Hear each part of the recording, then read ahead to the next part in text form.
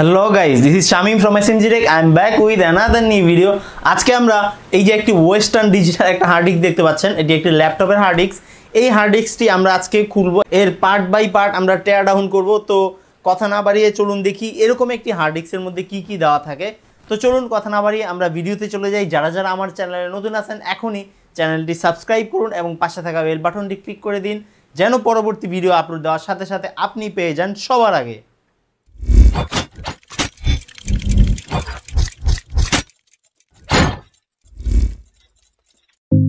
চলুন আমাদের এক্সপেরিমেন্টটি স্টার্ট করি এবং এটা টেয়ার ডাউন করি।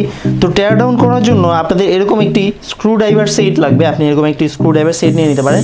আর এর যে স্ক্রুগুলো রয়েছে, এই স্ক্রুগুলো একটু অন্য রকমের হয়ে থাকে। তো যেই কারণে এই স্ক্রুগুলো এরকম একটি স্ক্রু ড্রাইভার সেট যদি হয়, তাহলে সেখানে আপনি পাবেন। আদারওয়াইজ এটা খুলতে পারবেন না আপনি। তো চলুন আমরা দেখি এটার মধ্যে কোনটা দিয়ে খোলা যাবে।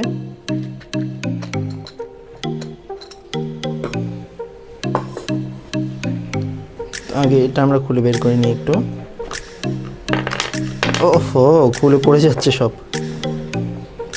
তো আশা করি এটা দিয়ে আমাদের কাজ হয়ে যাবে।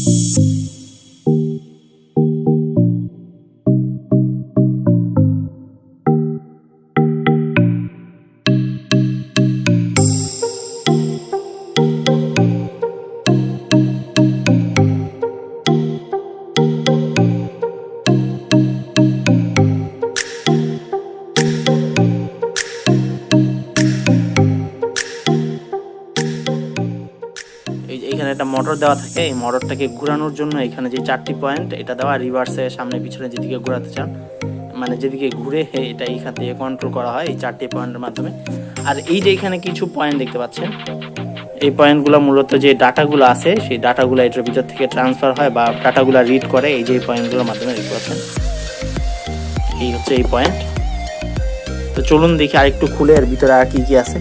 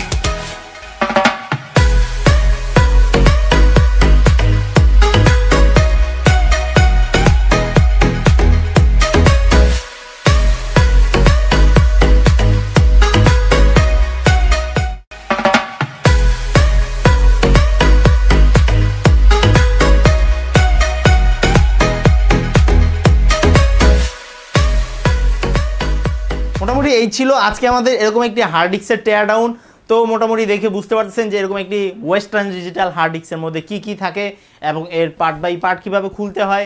তো আজকে এই পর্যন্তই। দেখা হচ্ছে পরবর্তী ভিডিওতে সেই পর্যন্ত ভালো থাকবেন, সুস্থ থাকবেন। Stay Yoon with S M G tech good bye